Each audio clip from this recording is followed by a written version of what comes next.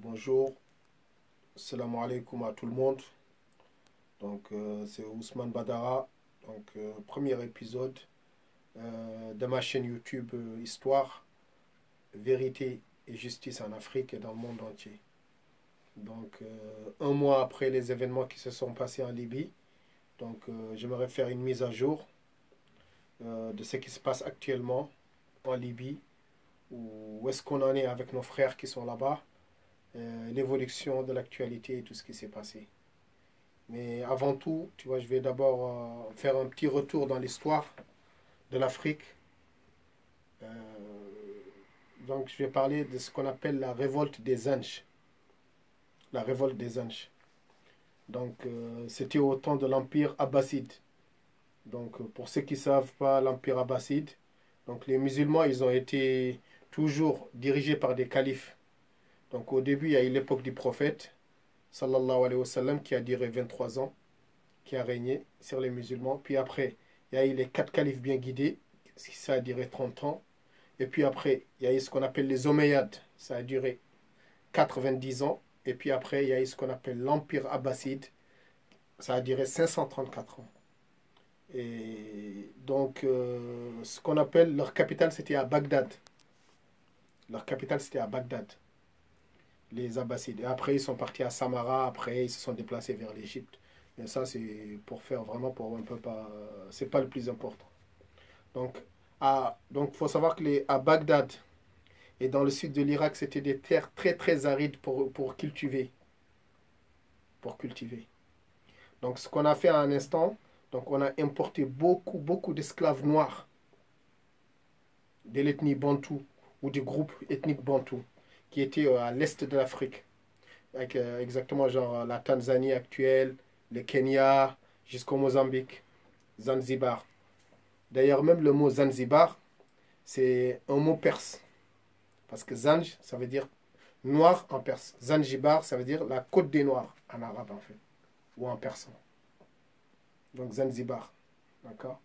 Et donc a- à la base, c'est un mot persan. Mais c'est devenu un mot arabe, donc euh, qui veut dire noir.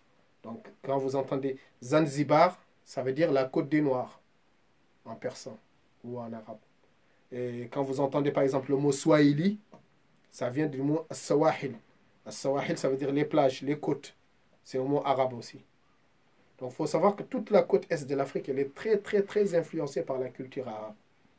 D'accord? Et il y a eu beaucoup de traites négrières arabo-musulmanes qui s'est passé là-bas. J'aime pas dire traite négrière arabo-musulmane, je vais dire juste traite négrière arabe. Parce que traite négrière musulmane, dans l'islam, ça n'existe pas ça. C'est certains musulmans par cupidité qui ont pratiqué l'esclavage de masse. Donc euh, je vais retourner encore à notre sujet. Donc dans les années 800, 800, on a importé beaucoup, beaucoup d'esclaves de la côte est de l'Afrique pour venir travailler dans les champs. Tu vois Parce que c'était une terre très difficile à cultiver. Donc il fallait déjà assécher la terre. Et une fois qu'on avait asséché la terre, il y avait des tonnes de boue qu'il fallait enlever pour qu'on puisse cultiver profondément. Et pour cela, on a importé beaucoup, beaucoup d'esclaves noirs de la côte est de l'Afrique. Et les travaux, il était vraiment pire, je pourrais même dire pire qu'aux qu'aux États-Unis, dans les champs de coton. C'était vraiment dur. Et en 869, il y a un monsieur qui s'appelle Ali ibn Muhammad, c'est un zaïdite, tu vois. Et lui, il a regroupé tous les Noirs pour faire une révolte, qu'on appelle la révolte des anges. D'accord? Et ces esclaves-là, il y en a, ils avaient des fourches, il y en a, ils avaient des couteaux, il y en a, ils avaient des armes. Pendant 14 ans, ils ont mis tout le sud de l'Irak à feu et à sang. On parle de 500 000 morts. Il y a certains historiens qui parlent jusqu'à 200 000, de, excusez-moi, jusqu'à 2 millions de morts en 14 ans, entre 869 et 883. Donc retenez bien cette date-là, la révolte des anges, ça s'est passé dans le sud de l'Irak, actuellement vers Bassora, tout ça là. Donc entre 869 et 883.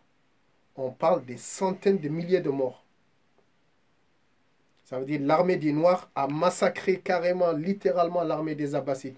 Ils ont même pris des villes. Ils ont même fait un embryon d'État dans le Khouzestan. Ça veut dire c'est dans l'Iran actuel. C'est au sud-ouest de l'Iran actuel.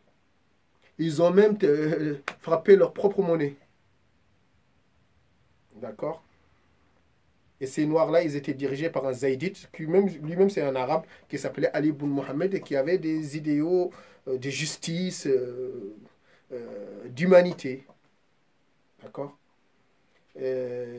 Par contre, en 883, ils ont été exterminés exterminés parce que un instant, le califat abbasside, ils étaient devenus plus forts, ils sont arrivés quand même à bout de la résistance.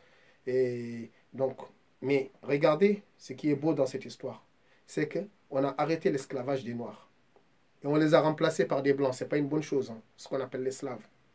Parce que les Noirs se sont tellement révoltés dans le sud, ils ont tellement massacré des gens dans l'actuel Irak qu'on a arrêté d'importer les esclaves de l'Est de l'Afrique et on les a remplacés par des esclaves blancs. Bon, je ne veux pas, je vais pas dire que c'est une bonne chose, ce n'est pas une bonne chose. Mais au moins, on a arrêté l'esclavage des Noirs dans, dans, cet état. Donc, retour en Libye. Aujourd'hui, il ne faut pas oublier, il y a une chose que beaucoup de gens dont ils ne parlent pas.